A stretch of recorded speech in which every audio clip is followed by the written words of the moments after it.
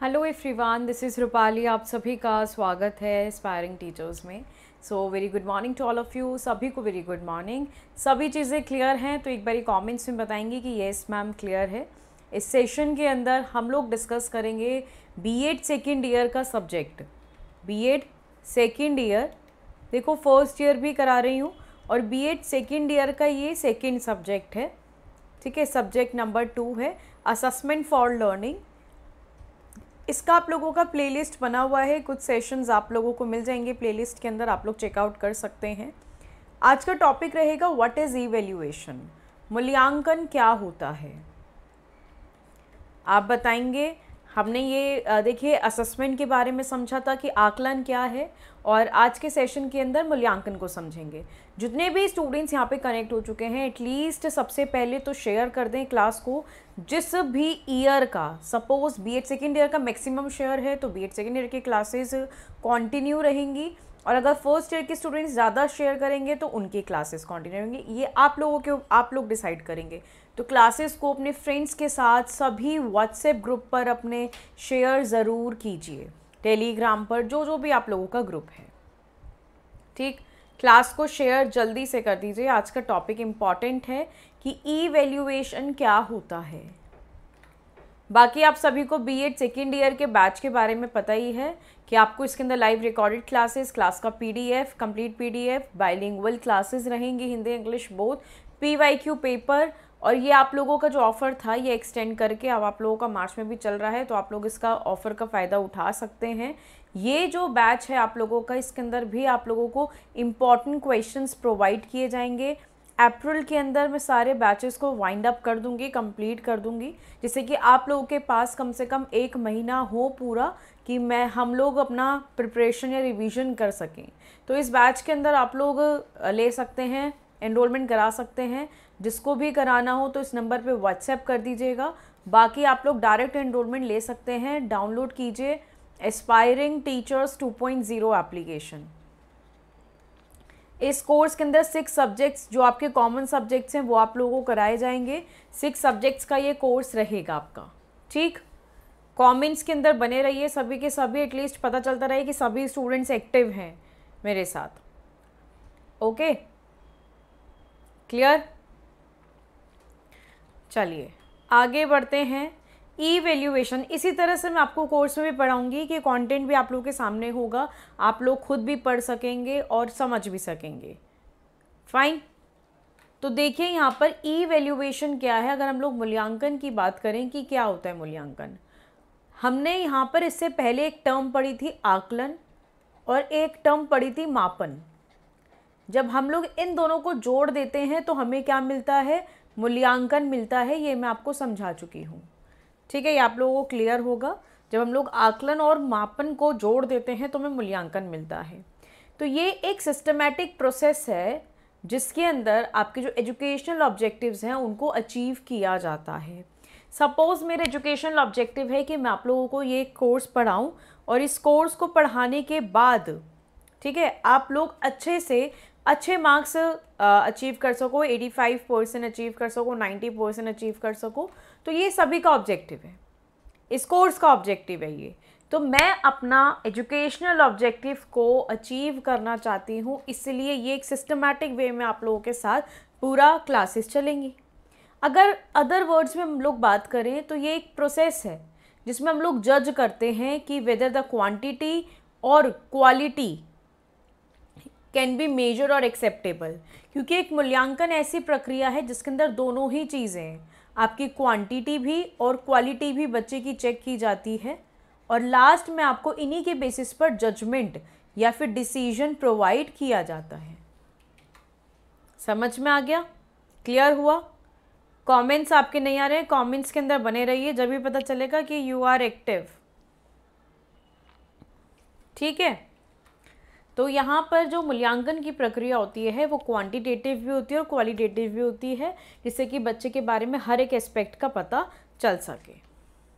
इसकी करेक्टरिस्टिक्स क्या क्या हैं? आप लोग इस तरीके से पेपर के अंदर फ्लो चार्ट्स बना सकते हैं। इस तरीके से आप लोग पेपर में फ़्लो चार्ट्स का इस्तेमाल कर सकते हैं कि जैसे कि करेक्टरिस्टिक्स आपको लिखनी हो तो आप लोग यहाँ से, ऐसे फ्लो चार्ट्स बनाकर फिर उसको एक्सप्लेन कर सकते हैं। तो ईवेल्युएशन क्या करता है? बच्चे को अंत में फीडबैक प्रोवाइड करता है, प्रतिक्रिया प्रदान करता है, या प्रतिपुष्टि प्रदान करता है कि बच्चे का ओवरऑल परफॉर्मेंस कैसी रही है। जब हमें यहाँ से ओवरऑल परफॉर्मेंस के बारे में पता चलेगा तो हमें मोटिवेशन मिलेगा। ये उन लक्ष्य को प्राप्त करने के लिए प्रेरित करता है कि हमारा ये लक्ष्य है, हमें इसको अचीव करना है तो वो हमें मोटिवेट करेगा।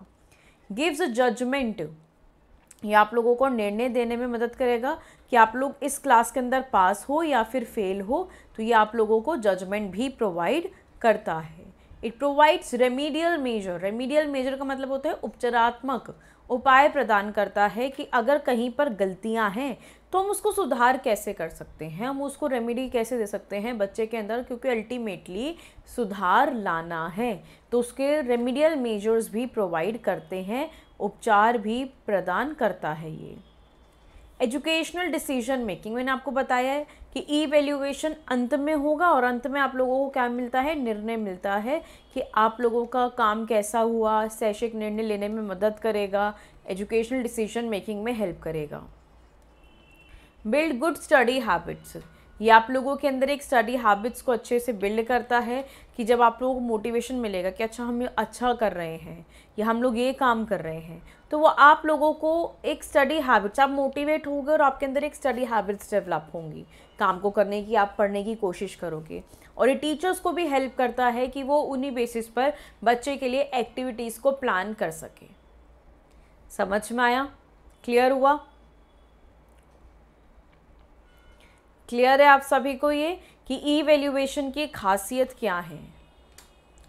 देखो पेपर में पूरा क्वेश्चन आता है व्हाट इज़ ई वैल्यूएशन उसकी नीड्स एंड इम्पॉर्टेंस को डिस्क्राइब कर दो, उसके करेक्टरिस्टिक्स को डिस्क्राइब कर दो क्या क्या हैं, या उनके टाइप्स को डिस्क्राइब कर दो, या फिर उनकी अप्रोचेस को डिस्क्राइब कर दो, किसी भी टाइप का क्वेश्चन आ सकता है आपके पेपर में तो हर एक चीज़ पढ़ कर जाइए, पहले से ही पहले। इज़ दैट फाइन समझ में आ गया? ग्रेट अब देखो इसकी ज़रूरत क्या है। इस हमें ई वैल्यूएशन की क्यों ज़रूरत है? ये फ्लो चार्ट्स आप बनाओ पेपर में आपको खुद लगेगा कि हमने खुद ही आंसर को बहुत अच्छे से प्रेजेंट किया है। ये जो ई वैल्यूएशन होता है, ये हमारे क्लासरूम के ऑब्जेक्टिव्स को फुलफ़िल करता है। ये हमने अभी पढ़ा कि जो भी कक्षा का या एक टीचर का, एक बच्चे का या एजुकेशन का जो भी ऑब्जेक्टिव है, उसको पूरा करने के लिए मदद करता है। जहाँ पर बच्चे को लर्निंग डिफ़िकल्टीज़ हो रही हैं, कठिनाइयाँ आ रही हैं सीखने में, उनका निदान करेगा, उनको डायग्नोस करेगा, उनको पहचानेगा कि कहाँ पर गलतियाँ हो रही हैं, हम उसको सुधार करें। ठीक है? Prepare reports for pupil progress अब देखो एक बच्चा यहाँ से फ़र्स्ट टर्म के अंदर, ये था फिफ्टी परसेंट पर। धीरे धीरे हमने उसको रेमिडीज़ प्रोवाइड करी, उसको उपचार दिए, उसके अंदर यहाँ पे मोटिवेशन दिया, उसको बताया कि यहाँ पर ये गलतियाँ हैं। धीरे धीरे वो सेकंड टर्म में आकर वो सत्तर परसेंट पर पहुँच गया। तो भाई यहाँ पे प्यूपिल की प्रोग्रेस हो रही है, उस बच्चे का प्रोग्रेस हुआ है, वो रिपोर्ट भी प्रिपेयर करता है। इसलिए इंपॉर्टेंट है। स्टूडेंट्स को असिस्ट करेगा कि उनकी प्रॉब्लम कहाँ पर है, हम उसको कैसे सही या सुधार कर सकते हैं। उस चीज़ से भी मदद करता है। एंड बच्चे को नए नए एक्सपीरियंसेस लर्निंग एक्सपीरियंस सीखने में भी मदद करता है। नए अनुभव जो हैं सीखने के लिए, उनको तत्परता रखता है मीन्स उनको सीखने के लिए प्रोत्साहित करेगा। समझ में आ रहा है? क्लियर हो रही हैं क्लासेस एवरीथिंग इज़ फाइन देखो इवेल्युएशन के कुछ खास प्रिंसिपल भी होते हैं, नियम भी होते हैं तो देखो, जो भी टेक्निक्स यूज़ की जाती हैं, ये पूरा फुल फ्लेज्ड क्वेश्चन है, जो एक ही बारी में आपको सोलह नंबर में पूछा जाएगा और हमें किस तरह से अटैम्प्ट करना है।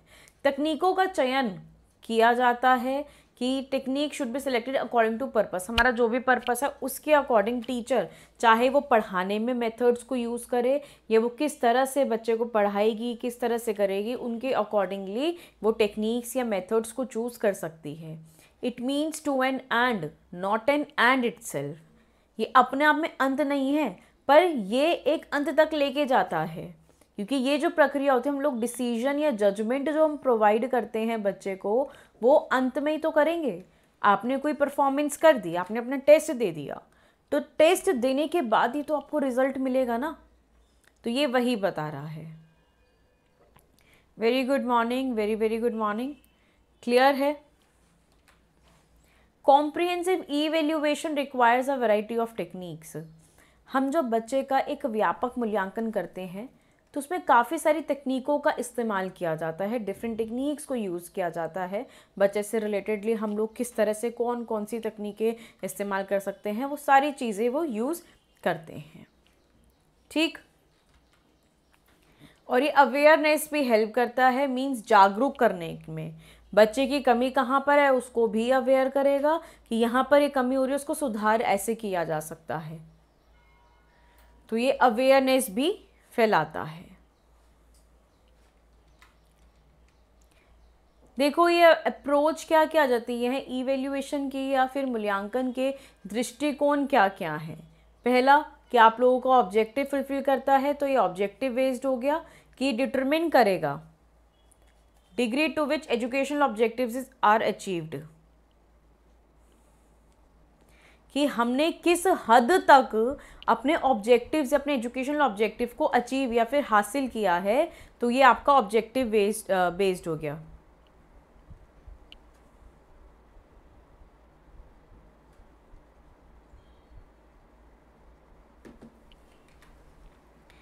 ठीक, समझ में आ गया? Next is decision based focus on decision made during development and improvement with large scope and multiple levels. जैसे डिसीज़न बेस्ड होता है तो ये फोकस करेगा उन डिसीजंस पर कि हमें जैसे डेवलपमेंट करानी है इम्प्रूवमेंट करानी है तो किस लेवल तक हम लोग अचीव कर सकते हैं, उन डिसीजंस में हेल्प करेगा ये। ठीक है? समझ में आ गया Next is value based. It is not only concerned with goals, but also whether the goals are worth achieving. Means ये ना केवल लक्ष्यों के साथ संबंधित है, लेकिन यह भी कि क्या लक्ष्य को प्राप्त करने के लायक है या नहीं है तो वो वैल्यू बेस्ड उसका वैल्यू क्या बनेगा उस गोल्स को अचीव करना